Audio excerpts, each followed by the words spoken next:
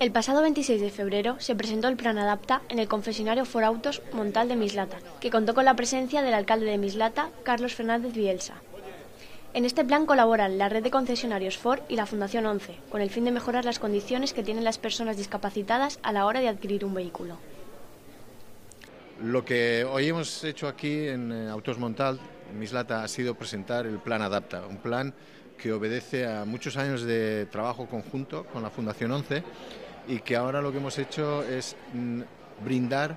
y traer a la gente con discapacidad la posibilidad de, hacer lo que hacemos cualquier otra persona normal, es decir, que sin discapacidad, es probar un vehículo antes de comprarlo. Es decir, en eso consiste, en que la gente pueda venir a sus concesionarios, beneficiarse de una serie de ventajas, pero además, sobre todo, probar los vehículos y decidirse por, por nuestro coche o no.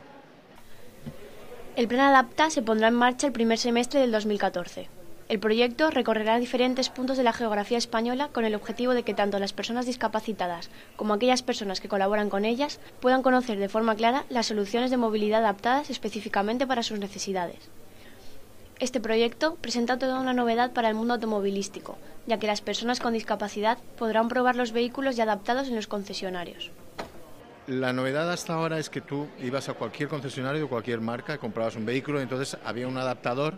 que te hacía las adaptaciones en función de tus necesidades. Como nosotros tenemos cubiertas el 80% de las necesidades de las personas con discapacidad, lo que hacemos es una entrega de vehículo llave en mano. Es decir, cuando viene una persona con una discapacidad determinada, se eh, valora el vehículo, se le dice lo que requiere para adaptación y cuando venga a recogerlo vendrá ya totalmente equipado, ya no se tiene que preocupar absolutamente nada, es decir, el coche estará para conducirlo él o ella e irse a su casa con él. Tanto Ford como ONCE llevan más de 20 años trabajando para ayudar a mejorar la movilidad de las personas con discapacidad.